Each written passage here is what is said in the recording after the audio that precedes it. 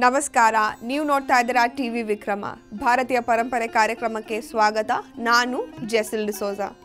ನೀವು ಇಲ್ಲಿವರೆಗೆ T V ವಿಕ್ರಮವನ್ನು subscribe ಮಾಡದೇ ಇದ್ದರೆ ತಕ್ಷಣ ಸಬ್ಸ್ಕ್ರೈಬ್ ಮಾಡಿ, ಬೆಲ್ ಬಟನ್ ಒತ್ತಿ.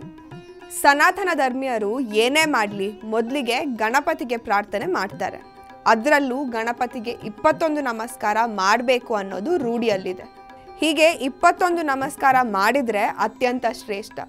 ಗಣಪತಿಯ ಸಂಪೂರ್ಣ ಆಶೀರ್ವಾದ ದೊರೆಯುತ್ತೆ ಅನ್ನುವ ನಂಬಿಕೆ ಇದೆ. ನಿಜಕ್ಕೂ ಈ ಇಪ್ಪತ್ತೊಂದು ನಮಸ್ಕಾರದ ಹಿಂದೆ ಏನಿದೆ ಅನ್ನೋದನ್ನು ತಿಳ್ಕೊಳ್ಳೋಣ. ದೇಹದಲ್ಲಿರುವ ಅಂಗಗಳನ್ನು ಗಮನದಲ್ಲಿ ಇಟ್ಕೊಂಡು ಮತ್ತೆ ಅವುಗಳು ವೃದ್ಧಿಯಾಗುವ ಉದ್ದೇಶ ಈ ನಮಸ್ಕಾರದ ಹಿಂದೆ ಇದೆ. ಪಂಚಭೂತಗಳು ಭೂಮಿ, ನೀರು, ಅಗ್ನಿ, ವಾಯು, ಆಕಾಶ. ಪಂಚೇಂದ್ರಿಯಗಳು ಕಣ್ಣು, ಕಿವಿ, ಮೂಗು, ನಾಲಿಗೆ ಚರ್ಮ. ಐದು ಕರ್ಮೇಂದ್ರಿಯಗಳು, ಕೈ, ಕಾಲು, ಬಾಯಿ, ಗುದ, ಗುಯ್ಯ. ಪಂಚ ತನ್ಮಂತ್ರಗಳು, ರೂಪ, ಶಬ್ದ, ಗಂಧ, ರಸ, ಸ್ಪರ್ಶ. ಇನ್ನೊಂದು ಮನಸ್ಸು. ಅಂದರೆ ಗಣೇಶನ ಆಳ್ವಿಕೆಗೆ ಒಳಪಟ್ಟಿರುವ ಇಪ್ಪತ್ತೊಂದು ತತ್ವಗಳಲ್ಲಿ ಕೊನೆಯದ್ದು ಮನಸ್ಸು. ಉಳಿದ ಇಪ್ಪತ್ತು ತತ್ವಗಳಲ್ಲಿ ಪಂಚಭೂತಗಳು ಪಂಚ ಕರ್ಮೇಂದ್ರಿಯಗಳು ಪಂಚ ಜ್ಞಾನೇಂದ್ರಿಯಗಳು ಮತ್ತು ಪಂಚ ತನ್ಮಾತ್ರೆಗಳು ಇವೆ. ಮನಸ್ಸನ್ನು ಸಂಯಮದಿಂದ ಒಳಗಿನ ಜ್ಞಾನಾಕಾಶದಲ್ಲಿ ಲಯಗೊಳಿಸಿದರೆ ಗಣೇಶನ ಮಹಿಮೆಯ ಅನುಭವ ಉಂಟಾಗುತ್ತೆ ಅಂತ ಹಿರಿಯರು ಹೇಳ್ತಾ ಇದ್ರು. ಇಂತಹ ನಮಸ್ಕಾರ ಮಾಡೋದಕ್ಕೆ ಒಂದು ವಿಧಿ ಇದೆ.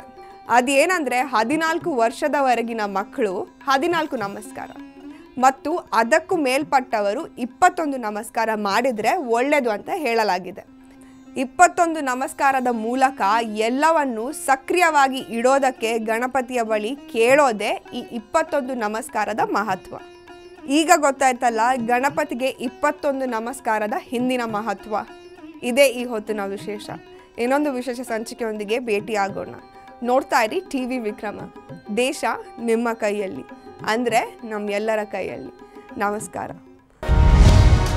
ಟಿ ವಿ ವಿಕ್ರಮ, ದೇಶ ನಿಮ್ಮ ಕೈಯಲ್ಲಿ.